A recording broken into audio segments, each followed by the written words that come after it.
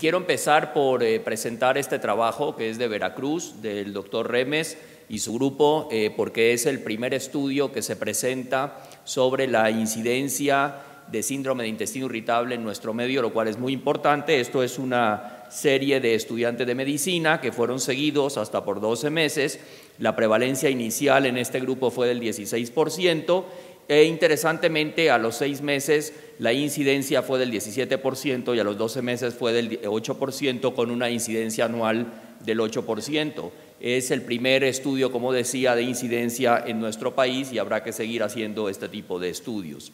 Desde el punto de vista genético, eh, este estudio que se realizó en la Universidad de California hizo un análisis ponderado de la correlación de microarreglos para determinar cuáles de estos, eh, estos grupos de genes estaban asociados o sobreexpresados en algunos casos y otros eh, disminuciones de la expresión en síndrome de intestino irritable.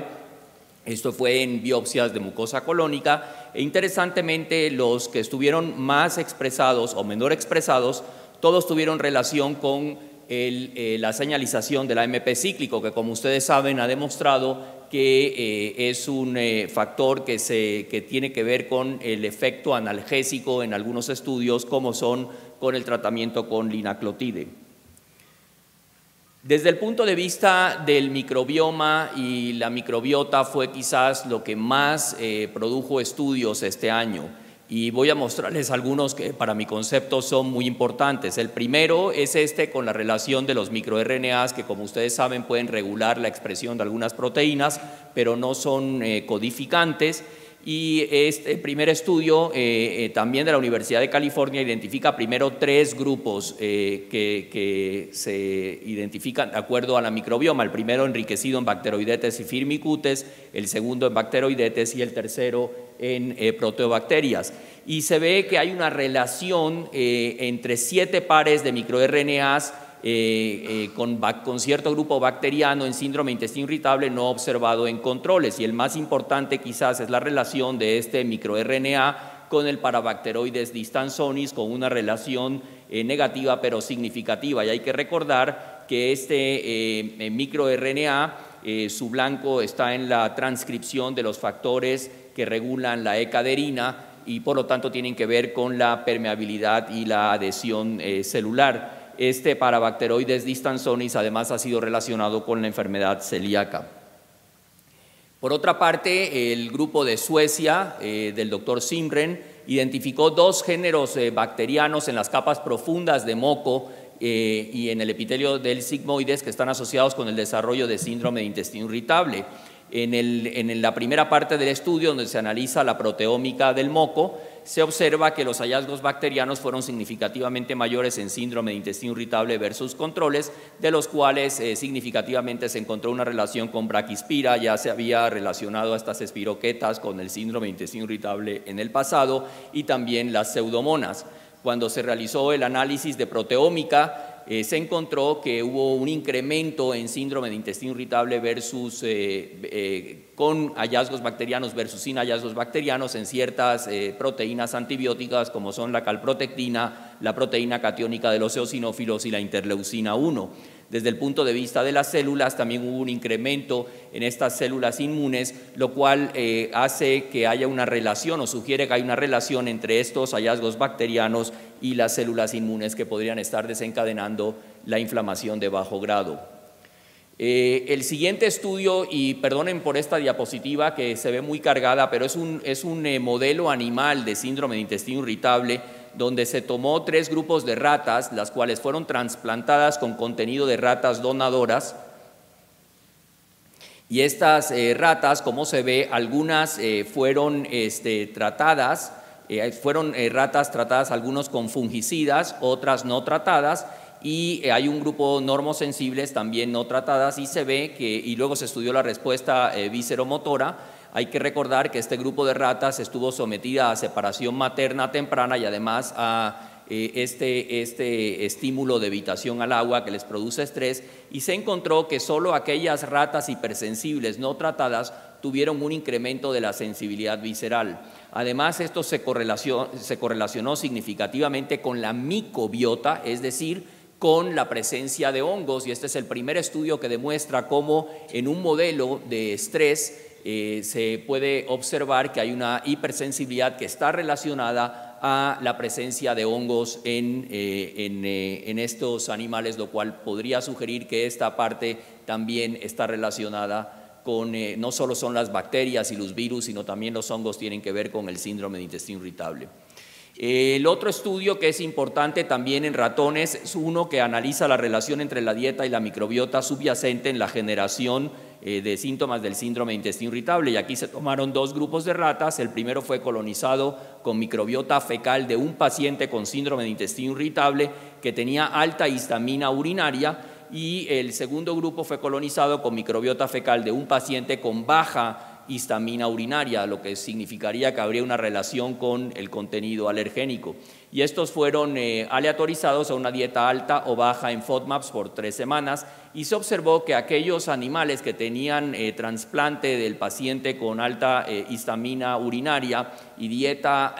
alta en FODMAPs tuvieron un tránsito intestinal más lento, mayor volumen secal, permeabilidad, eh, mecanosensibilidad, abundancia de ciertas bacterias y, disminución en la diversidad de algunas otras, a diferencia de aquellas eh, ratas que nada más habían sido trasplantadas con eh, histamina, con el contenido de un paciente con baja histamina, lo cual hace una relación nuevamente entre la presencia de la dieta y la microbiota, es decir, la microbiota probablemente predispone a una respuesta con esta dieta con eh, baja en FODMAPs.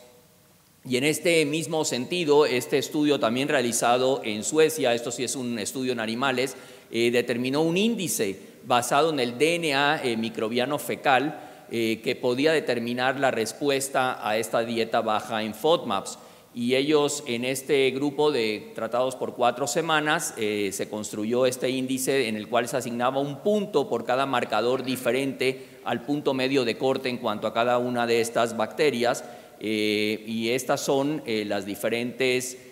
bacterias en cuanto a especie, género, orden o clase que demostraron diferencias entre los respondedores y los no respondedores a la dieta baja en FODMAPs determinando que aquellos que tenían un puntaje mayor o igual a 3 tenían 1.78 veces más probabilidad de ser no respondedores a la dieta, lo cual podría significar en el futuro un biomarcador para determinar respuesta al tratamiento. Otro biomarcador nuevo que puede determinar eh, la respuesta a los FODMAPs son los eh, niveles de 7 alfa hidroxi 4 colestén 3.1 o el 7C4 que se ha visto en este estudio que disminuye luego de una, eh, una dieta baja en FODMAPs. Y aquí lo que tomaron fueron, este es un estudio post-hoc, un estudio previo en el cual un grupo de pacientes fue eh, sometido a dieta baja en FODMAPs versus la dieta eh, NICE modificada. Y lo que se ve es que en aquellos pacientes con la dieta baja en FODMAPs hubo un aumento significativo del 7C4 en comparación con aquellos con la dieta NICE.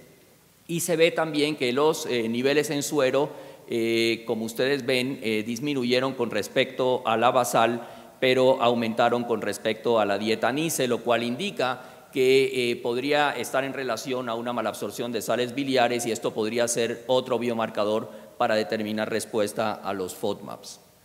la positividad de los anti-CDTB y antivinculina que ya están disponibles comercialmente y los estamos utilizando en la clínica, en este estudio se analizó si solamente tenía relación con el antecedente postinfeccioso y analizaron otra serie de vaciamientos y ustedes pueden ver aquí que aquellos positivos contra aquellos negativos no hubo diferencias en sobrepoblación bacteriana ni ninguna alteración de la motilidad. En cambio, la única asociación fue con aquellos pacientes que tenían una etiología eh, postinfecciosa lo cual aquí significaría que eh, la relación bacteriana sería la principal causa de la presencia de estos anticuerpos. Por otra parte, eh, para estudiar mucho más eh, cómo se desencadenan esos anticuerpos, se tomó CDTB recombinante y se, aplicó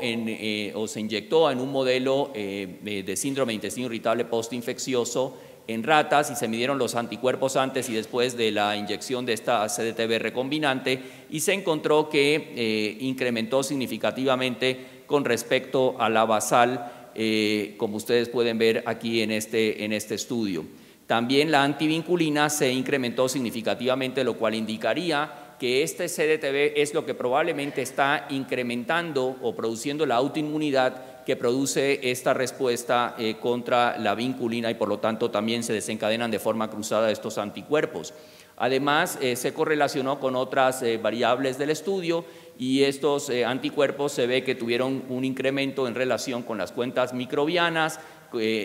tanto en duodeno como en ilion, con la expresión, la disminución en la expresión de vinculina, el peso neto de las evacuaciones, la disminución en la expresión de TNF-alfa y de IL beta. Entonces, lo cual sugiere nuevamente que probablemente la microbiota tiene que ver eh, también con, eh, con que se desencadenen estos anticuerpos, pero además también que hay una reacción autoinmune que lo desencadena. Desde el punto de vista de nuevos tratamientos, realmente hubo poco en la DW este año y básicamente lo que hubo fueron más estudios, análisis post-hoc de medicamentos que ya están disponibles. Eh, ustedes pueden ver en este primer estudio donde se analiza la respuesta sostenida y predictores de respuesta en pacientes con síndrome de intestino irritable con diarrea eh, que responden a múltiples ciclos de rifaximina 550 miligramos tres veces al día y se determinó como respuesta sostenida al respondedor al primer retratamiento, al segundo retratamiento y al, y al, seguimiento de 12 semanas. En el primer análisis hay que decir que la respuesta al primer ciclo fue significativamente superior con la rifaximina que con el placebo, 38.1% contra 31.5%. Y cuando se analizó la respuesta sostenida en el segundo ciclo, se ve que es también significativamente superior con la rifaximina que con el placebo. Sin embargo, lo que es interesante es que ellos analizan la posibilidad de ser eh, respondedores a lo largo del tiempo y se observa que entre más años eh, el paciente tenga síndrome de intestino irritable eh, en su historia, es, menor la respuesta o la posibilidad de ser respondedor. En este eh, sentido es mayor cuando el síndrome intestino irritable tiene menos de 5 años de evolución en comparación con aquellos que tienen 5 a 10, 11 a 20 o más de 20 años. Eh, también con respecto a la rifaximina se trató de caracterizar la mejoría del dolor abdominal en pacientes con síndrome intestino irritable con diarrea, también tratados con esta dosis de 550 miligramos tres veces al día por dos semanas. Es eh, una evaluación en 2.579 pacientes con síndrome intestino irritable y se puede ver que los respondedores a las cuatro semanas post tratamiento fueron el 56.8% y sin recurrencia eh, del dolor abdominal en este caso a las 18 semanas fue del 35.6%. Entre aquellos que tuvieron recurrencia del dolor abdominal, esta aparece más o menos a las 14 semanas. Se analizó también en respondedores lo que fue el dolor abdominal eh, desde el punto de vista de intensidad en promedio al día y ustedes pueden ver que a las cuatro semanas post tratamiento la intensidad del dolor es menor que en el periodo basal, es un cambio de 1.9 en esta escala de promedio al día y a las 18 semanas también la disminución es todavía mayor en eh, la intensidad del dolor abdominal. El otro tratamiento que fue analizado desde el punto de vista post-hoc fue la ninaclotida en síndrome de intestino irritable con estreñimiento y este es el resultado de un estudio de cuatro semanas donde se analizó el efecto de este agente no solo sobre los síntomas intestinales, sino también extraintestinales y extradigestivos, lo cual resulta muy interesante. Y aquí ustedes pueden ver lo que ocurre a las cuatro semanas y a las doce semanas en cuanto a estos síntomas intestinales en primer lugar analizados de manera subjetiva, es decir, preguntándole a los pacientes eh, cómo sentían su respuesta y eh, de manera eh, subjetiva, pero en el, en el paciente en el, por protocolo, el primero es intención de tratar y lo mismo de una manera mucho más objetiva, utilizando esta escala de severidad de síntomas, el IBS-SSS también en la intención de tratar y en el grupo per protocolo y ustedes pueden ver cómo es eh, significativamente eh, eh, interesante que la escala objetiva da una mejor respuesta incluso que la escala subjetiva. Lo interesante es que esto se mantiene eh, entre 4 y 12 semanas en ambas evaluaciones y si cualquiera de las dos variables se utilizara para determinar la respuesta, 61.5% del grupo de la intención de tratar y 80% por protocolo tendrían un beneficio en el dolor abdominal a las 12 semanas. Interesantemente también es la presencia de la mejoría en los síntomas extraintestinales y en este caso se evaluó el reflujo y la dispepsia y se ve cómo disminuyen significativamente eh, estos síntomas a las 4 y 12 semanas y los extradigestivos que son todos estos síntomas somáticos que normalmente refieren los pacientes con síndrome intestino irritable como lumbalgia, cefalea, mareos, disnea, artralgias, eh, problemas sexuales, todo esto, incluso los problemas de sueño, mejoraron significativamente con este eh, agente. También el, otro problema que ustedes saben que puede existir a veces con la linaclotida o el linaclotide es la presencia de diarrea. Entonces, en Estados Unidos ha sido aprobada una nueva presentación de 72 eh, microgramos que este, no tenemos nosotros en México, pero lo que intentaron hacer en este estudio es eh, comparar el linaclotide normal de 290 microgramos que se encuentra en el mercado con dos preparaciones, una que se libera a nivel del ilion terminal, lo cual eh, permitiría mejorar el efecto sobre el dolor, pero preservaría el mismo efecto sobre la secreción, y otro que se liberaría a nivel de la unión iliocecal, que también tendría un efecto para mejorar el dolor y eh, eh, podría minimizar los efectos secretores, lo cual sería importante para disminuir esta diarrea, que es el efecto más importante desde el punto de vista secundario y se determinó como respuesta en síndrome de intestino irritable con estreñimiento mayor al 30% en el peor dolor abdominal y aumento de una evacuación espontánea completa durante la misma semana. Esto es el placebo, 2% tuvo diarrea, estos son los 290 eh, microgramos eh, que tienen 14% de diarrea, en cambio aquellos que se liberan a nivel del ilion terminal, como ustedes pueden ver, solamente la dosis de 300 microgramos eh, logró una respuesta significativa en cuanto al dolor abdominal, con una disminución en la diarrea y eh, obviamente aquellos que se liberan en la unión iliocecal tienen una menor eh, proporción de diarrea, pero no alcanzan esta,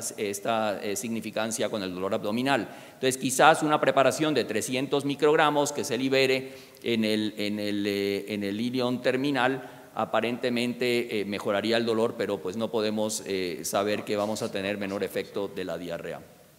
En cuanto a los nuevos agentes, realmente el único es el plecanatide, es otro agonista de guanilato ciclasa, y estos son los resultados de dos estudios controlados aleatorizados. La variable primaria muy similar a la del estudio anterior, el porcentaje de respuesta global, y ustedes pueden ver cómo la respuesta global fue significativamente superior con 3 y 6 miligramos de linaclotida en el primero y en el segundo estudio. Los efectos secundarios, obviamente, más importantes, la diarrea, como se puede observar. Este medicamento ya está disponible para estreñimiento crónico y esperamos tenerlo disponible para eh, eh, síndrome intestino irritable próximamente. Y este es el primer estudio controlado de trasplante de microbiota fecal. Es un trasplante eh, de donador versus un trasplante del mismo paciente que fue procesado y lavado y fue colocado nuevamente. Y realmente, solamente para decirles, un estudio muy pequeñito que no tuvo diferencias realmente intergrupo, excepto solamente en el SF36 en la salud general, pero creo que se requieren estudios mejor diseñados en trasplante de microbiota fecal.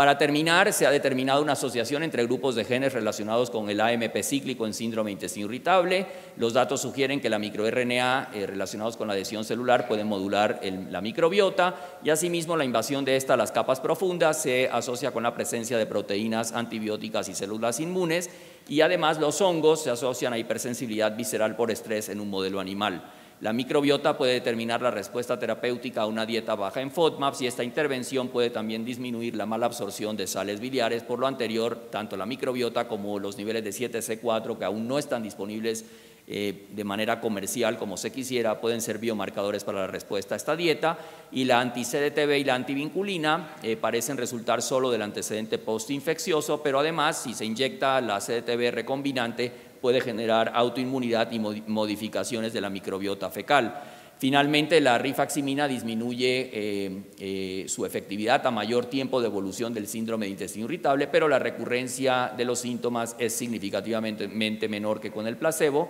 y en los respondedores en dolor abdominal más del 35% permanece asintomático a las 18 semanas y en los recurrentes esto aparece o reaparecen los síntomas a las 14 semanas. El linaclotide es efectivo para los síntomas intestinales en casi el 80% de los pacientes, pero también en síntomas extraintestinales y extradigestivos. Y es interesante que el sitio de liberación del linaclotide puede modificar los efectos analgésicos y secretores. Y un nuevo agente es el plecanatide, que ya está disponible, como les decía, para estreñimiento crónico, al menos en Estados Unidos, y ha demostrado efectividad en síndrome intestino irritable. Y finalmente, también lo que les decía hace un rato, se requieren estudios mejor controlados para determinar la efectividad del trasplante de microbiota fecal en síndrome de intestino irritable. Muchas gracias.